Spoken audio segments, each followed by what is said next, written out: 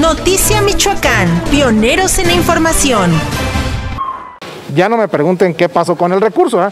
pero digo, después de 10 años yo le decía, mira Carlos, después de 10 años vas a ver que la obra que tú etiquetaste va a ser concluida, ¿no?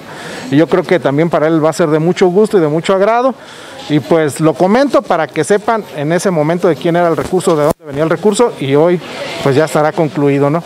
Ellos están invitados, está pues la, la visita, yo me dará mucho gusto recibirlo al gobernador y, más porque vamos iniciando pues este trienio, él va iniciando periodo y ahí pues le haremos también algunos planteamientos de obras y necesidades que tienes acá. Pues siempre luego hay gente que se quiere brincar las trancas y que dice que que son el gobierno federal y que ellos mandan y que pues no, aquí no es así. Aquí mandamos todos y al final de cuentas hay una coordinación entre gobierno federal, estatal y municipal.